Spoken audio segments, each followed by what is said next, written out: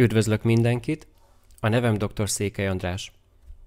Ebben a videóban nem tippeket szeretnék adni a terasi felhasználásához, hanem egy nyílt videó üzenetben foglalom össze a fejlesztők számára azokat az apró változtatási javaslataimat, melyek véleményem szerint a leletezés gyorsabbá, illetve a felületet felhasználó barátabbá tehetik. És akkor lássuk is a listám. Az első problematikus dolog számomra az, hogy amikor egy esetet megnyitok, a képanyag nem töltődik be automatikusan a megtekintő felületbe. Hanem ehelyett nekem kell rákattintanom erre a bélyeg képre az aktuális felvételek mezőben. Gondoljunk bele, nagyon gyakran csak egy PA melkas felvételt kell leletezni, vagy egy kétirányú csukló felvételt, ami mind ráfér egy kazettára.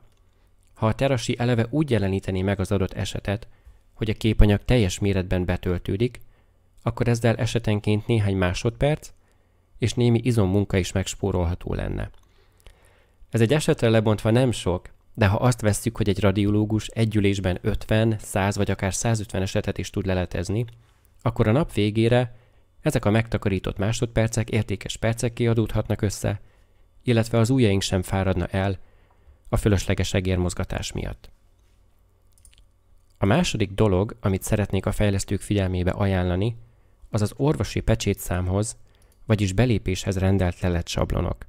Hiszen most, ha két különböző számítógépen használom a terasit, akkor akár teljesen más lelet sablonokkal találkozhatok, ami a hatékonyságot rontja, illetve frusztrációhoz vezet a leletező orvosnál. Természetesen minden számítógépnél vehetem a fáradtságot, és beállíthatom a saját sablonjaimat, de ez nagyon sok olyan időt feltételez, amit leletezésre is fordíthatnék. Tehát célszerű volna, ha egy adott pecsétszámhoz adott lelet sablonok állnának rendelkezésre, munkaállomástól függetlenül. A harmadik dolog is a sablonokkal kapcsolatos. Jó ötletnek tartom a leggyakrabban használt lelet sablonokat ikonok formájában a lelet szerkesztő mezőben megjeleníteni. Itt most egy kevésbé hasznos ikonsort találunk, amit nem hiszem, hogy sokan használnának, úgyhogy ezt nyugodtan le lehetne cserélni egy ilyen jellegű megoldással. Nem hinném, hogy sokan lementenék a leletüket, vagy újabb leletszövegeket töltenének be, nehogy Isten kinyomtatnák a leletüket innen a terasiból, vagy a nézetek között váltanának. Tehát ezt én szerintem nyugodtan le lehetne cserélni, és például ide kerülhetne a melkasröngen sablonja, vagy a lumbális gerinc felvétel sablonja egy-egy ikon formájában. Hasznos volna, és ez a negyedik dolog, amit említek, ha a lelet szerkesztő és a vélemény szerkesztő mezők között egy billentyű lenyomásával tudnék váltani. Sok esetben előfordul például, hogy a sablont csupán egy mondattal egészítem ki, és ezt követően a vélemény szerkesztő mezőbe szeretnék ugrani. Ehhez ugye először is a billentyűzetől el kell vennem a kezem, és újfent az egeret kell mozgatnom. Ez a váltás megint csak időbe, illetve kattintásba kerül, célszerűbb volna, ha nem kellene elvennem a kezem a billentyűzetről, majd újra ráhelyeznem, hanem ez a folyamat a billentyűzettel megoldható volna. Biztosan veletek is előfordult már, hogy véletlenül egy olyan esetet vállaltatok el, ami több száz képet tartalmazott, de ezekből csak egy volt az aktuálisan leletezendő röntgenképanyag. Ilyenkor a vizsgálati eredmények mezőben a képek alatt akár több száz sor is megjelenik, ami mind-mind egy-egy képet jelent, és ilyenkor a terasi akár hosszú órákon át is dolgozhat, hiszen a letöltés nagyon-nagyon sok időt vehet igénybe.